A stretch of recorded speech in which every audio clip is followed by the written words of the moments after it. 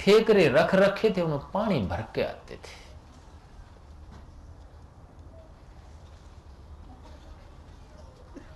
क्योंकि अंदर की एक, इसको मैं आत्मनिष्ठ धर्म बोलता हूँ, एक होता परंपरागत धर्म, दूसरा आत्मनिष्ठ धर्म। परंपरागत धर्म वो है जो हमारे पूर्वज परंपरा से करते आ रहे हैं। आत्मनिष्ठ धर्म वो है जो आत्मा की ज़रूरत के हिसाब से, आत्मा की भूख के हिसाब से आदमी पैर उठाए। परंपरागत धर्म वो है जो शास्त्रों में लिखी हुई बातें हैं, उसको धर्म सफीना बोलते हैं, यानी कि जो सफे के ऊपर, पन्ने के ऊपर, पेज के ऊपर, किताबों में या मंदिर मस्जिद में या मूर्तियों के ऊपर जो धर्म लिख दिया गया, वो धर्म सफीना है, वो परंपरागत धर्म है।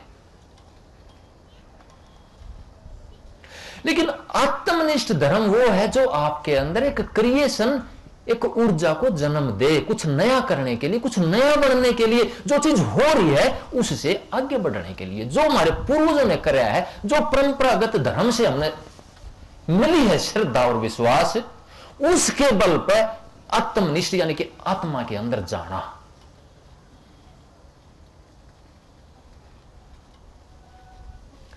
किसने किया आत्मनिष्ठ धर्म का पालन? अर्जुन ने किया। एक परंपरा, जो दुर्योधन था, वो परंपराओं के साथ बंधा हुआ था, जो राजा करते आ रहे थे। विषय विकारों का भोग करते आ रहे थे। या जो राजाओं के काम थे, शिकार करना, भोग भोगना वो सारे करते थे वो।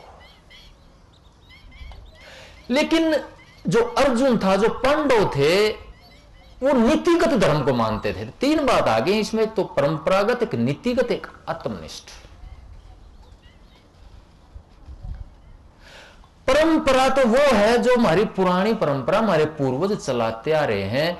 जैसे किसी परिवार में या किसी इस्लाम धर्म में लगा लो, रोज़े खोलते हैं या रोज़े रखते हैं या हज की यात्रा करते हैं। या कोई परिवार, कोई व्यक्ति काली देवी की भक्ति करता और बलि चढ़ाता है वो।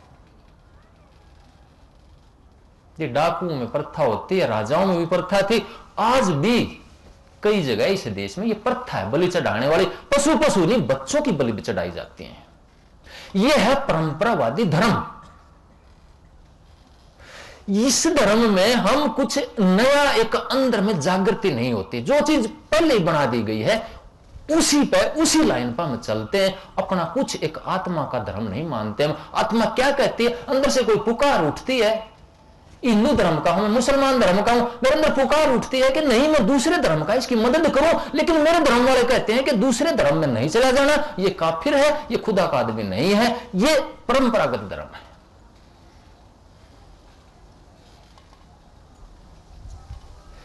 गंगा का पानी पीते हैं, कुएँ का पानी पीते हैं, पूछता है ये कौन सी जात का है, ये कौन से धर्म का है? कुदरत के जितने भी स्रोत हैं, सूरज है, प्रकाश देता है, पूछता है, ये हिंदू है, मुसलमान है, ये तो बहुत बाद की हिस्ट्री है। ये जो सूरज का जन्म है, ये तो तेरह चौदह अरब साल का है। आदमी की हिस्ट्री तो पचास हज़ार साल की भी नहीं है। आदमी तो अब आया है तो आदमी ने आकर के अपनी स्वार्थ की पूर्ति के लिए ये लाइन खींच दी है, जिसके ऊपर हम चलते हैं, इसको परंपरागत धर्म बोलता हूँ मैं।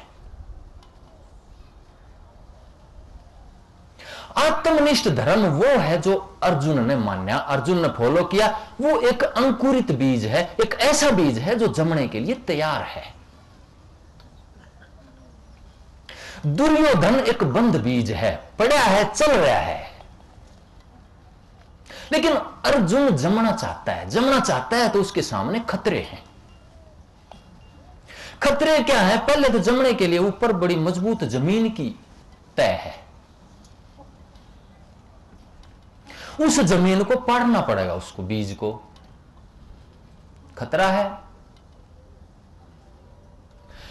उसके बाद, जमने के बाद भी किसी बच्चे का, किसी पशु का पैर भी टेक जाएगा, वहाँ भी खतरा है, खत्म होने का। फिर उस जमने वाले बीज को यह भी नहीं पता कि अगर तरफ़ फल आओगे भी नहीं आओगे आंधी, तूफ़ान, न जाने कहाँ खत्म हो जाए। लेकिन फिर भी वो नया बीज पैदा करने के लिए अपने आप को नष्ट करना चाहता है। वो बहादुरों का काम है। कई लोग कहते हैं कि अध्यात्म तो कायरों का काम है। मैं कहता हूँ, बहुत बहादुरी का काम है ये। क्योंकि वो अनाम के अंदर छलांग लगानी है। कुछ नहीं पता वहाँ क्या है। एक समुद्र है बस, अननोन। उसके अंदर छलांग को लगा देगा। उसके अंदर छलांग कोई बुद्ध जैसा बुद्धू लगा देगा। जो दिमाग से काम करता है गणित, हर चीज़ को उंगली पे फड़ाता है कि यह काम करे तो इतने पैसे का फ़ायदा, इस तरफ़ जाएगा तो यह फ़ायदा। उनके बस का खेल ही नहीं है, अध्यात्म का काम बहादुरों का काम है, कायरों का खेल ही नहीं है। ऐसी जगह छलांग लगानी है जहाँ पता है नहीं कहाँ जाएगा और क्या होगा तेरे साथ, उस बीज की तरह, उस अर्जुन की तरह। वो बीज अंकुर, जो अर्जुन जब अंकुरित होने लगती है उसकी आत्मा तो पर्सन पे पर्सन पर्सन पे पर्सन प्यास उठती है उसके अंदर, और वो पर्सन पूछता है कि, ये बताइए मेरे को, ये बताइए मेरे को, ये बताइए मेरे को।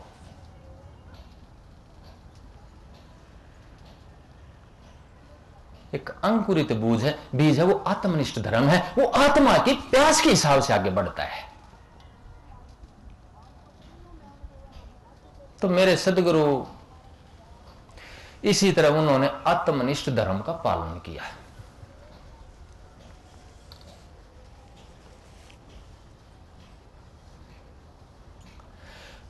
उसके बाद महात्माओं के पास बहुत घूमे पशु चराते थे, पैरों में जूतियाँ नहीं होती थी, जब पैर जलने लगते तो भाग करके गोबर में पैर दे देते। कुछ ठंडक मिलती। ऐसा जीवन था उनका। फिर घूमते घूमते एक बुज़ुर्ग साधु के पास पहुँचते हैं। वो उनकी हालत को देखते हैं, वो कहते हैं कि भाई, कोई दे दे गुरु की खोज कर, जो शरीर रूप में इस संसार में आया हुआ हो, तेरी बातों का जवाब वो देगा, जैसे श्री कृष्ण ने अर्जुन की बातों के जवाब दिए। इसीलिए गीता में श्री कृष्ण महाराज कहते हैं कि जो साकार का महत्व है, जो परमात्मा, जो ताकत साकार रूप में आई हुई है, जो काम वो कर देगी, निराकार नहीं कर सकता, उसके लिए सब कुछ बराबर है।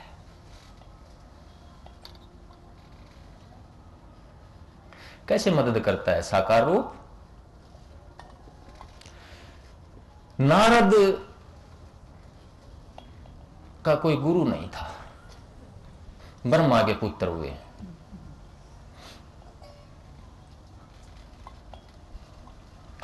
तो जब नारद स्वर्ग में जाते, उनको आसन दिया जाता। लेकिन जब वो उठ करके जाते तो उस आसन की सफ़ाई करी जाती थी। उस जगह को खोद करके पवित्र किया जाता था।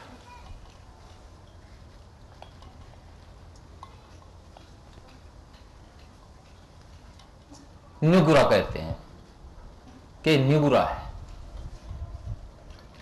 जहाँ भी जाते, कोई अच्छी जगह जाते तो उनको इज़्ज़त नहीं मिलती। तो बड़े दुखी हुई इस बात से कि बड़ा हर जगह मैं जा सकता हूँ, लेकिन फिर भी जो देवी देवता हैं, जो स्वर्ग के मालिक हैं, विष्णु लोक में जाता हूँ तो वहाँ भी इसी तरह आसन को धोया जाता है। तो ब्रह्मा से, अपने पिता से कहते हैं कि पिताजी मैं बड़ा दुखी हूँ इसका इलाज बताओ क्या है?